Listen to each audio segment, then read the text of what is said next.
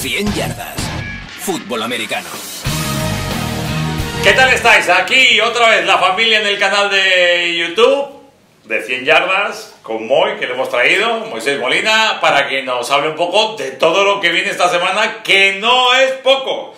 ¿Qué tal, Moy? ¿Estás preparado? Venga, José, vamos Lo primero, no puedo dejar de decirle apasionante Raiders 49ers jueves por la noche. Con lo que hemos sido. Con lo que hemos sido y dónde estamos ahora mismo. Duelo de la Bahía entre un equipo que es 1-6 y el otro 1-7. Mira que hemos visto partido, bueno, y tú lo conoces, Sí. tú estuviste allí formándote en San Sí Francisco y aquellos partidos maravillosos que han quedado, para lo que han quedado, una auténtica lástima, sí. Hombre, la mala suerte por un lado de San Francisco este año, con Sí, las lesiones de Garoppolo y todo, claro, y, y- y la planificación El del infierno fraude, el fraude. de los Raiders que nos están volviendo locos. El fraude de, de Gruden, sí, ese partido lo haremos en la madrugada del jueves al sábado, a la, jueves al sábado, jueves al viernes, Sí. todavía estoy así de las series mundiales. No, no te preocupes. De los jueves al viernes 2 y 20, San Francisco, San Francisco, Oakland, y vamos a ver ¿no? cuál es el menos malo. Vale, ¿tienes favorito? En principio San Francisco, debería jugar jugando en casa, ¿no? Sí, voy con San Francisco. Pero bueno.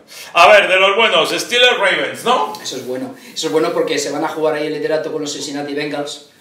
Y, y los Ravens vienen de caer de manera bastante, bastante mediocre, como...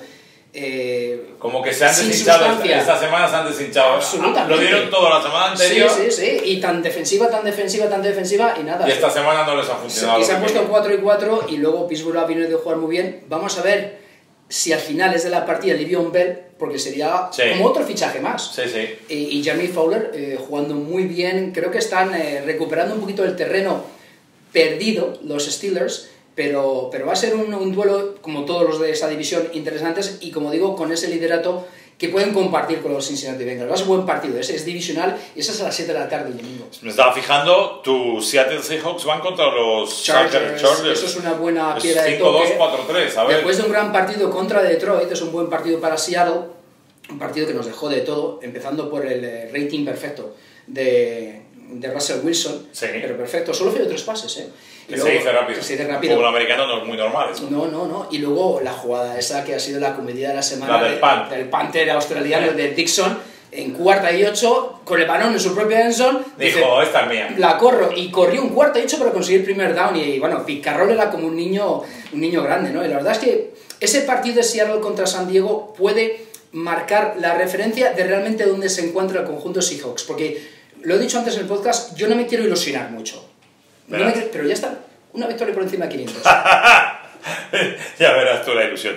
Dos partidos que son referentes esta semana, son referentes además de futuro para saber dónde están unos y otros. El primero enfrenta a los Ángeles Rams y a los Saints. Es. Esto puede ser incluso a lo mejor una final de conferencia avanzada. Sí, sí, sí, sí. Y, y bueno, eh, no jugaron bien los Saints el otro día, pero les valió para... Cuando digo no jugaron bien, quiero decir Contra Minnesota. contra Minnesota, que Drew Brees mm, ha tenido mejores días. Pero fíjense que ahí, aún a pesar de que quarterback no estuvo bien, el equipo salió adelante y la tan criticada secundaria consiguió dos robos de balón. Por lo tanto, vale, por, de- por detrás del balón no jugaron tan bien como por delante, pero eh, yo creo que es un, es un equipo a tener en cuenta que puede marcar eh, el devenir de esa, de esa conferencia de la NFC y quiero ver a Los Ángeles Rams después de remontar 10 puntos otro día, no le viene apretado tanto a los Rams en lo que vamos de temporada. Frente a Green Bay. Exacto. Y, y fue eh, un, un- golpe de autoridad y una demostración de personalidad. Va a ser un partidazo el Saints Rams. Hay, hay un factor además que ya lo iremos comentando en otras previas a lo largo de esta semana, pero juegan en casa de los Saints, eh, jugar en Sí, Nueva Orleans. cerrado,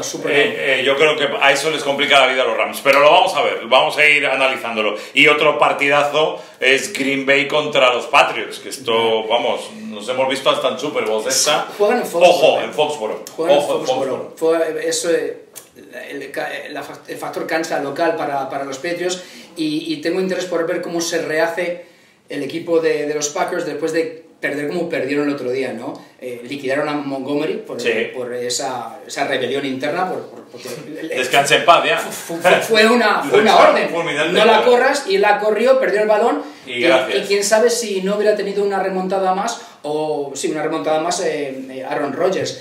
Quiero ver cómo se recupera de eso, porque fue un golpe, fue un mazazo. Perder como perder el otro día los dos, eh, los, los, los, los Packers fue un mazazo. Ya, pero, pero dieron una buena sensación. O sea, No controlaron no. el partido en la primera parte, incluso la sensación es que ellos podían haber ganado. Sí, pero tú te quedas, José, con, con, con el final del partido que es una derrota en el vestuario. Tú digas el vestuario y dices, "Oh, Ya. la que hemos tenido aquí Ya. para poder ganar y no lo hemos hecho. Y tú ahora acudes a Foxborough después de perder. Y los Pats, que no jugaron bien el otro día contra los Bills, No, no.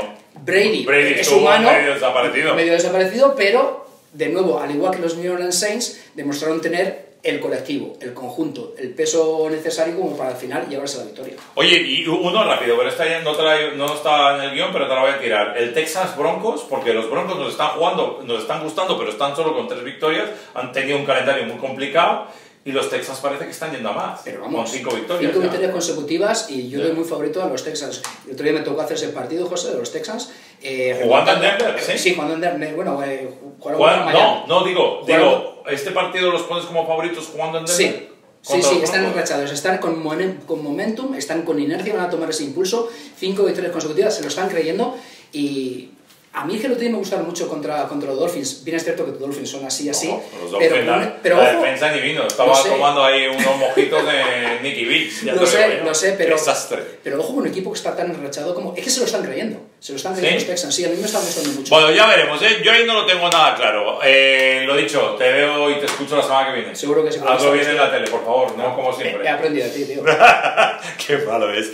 Gracias por seguirnos en el canal de YouTube. Más historias, más previas durante la semana, ya lo sabéis, aquí en 100 Yardas.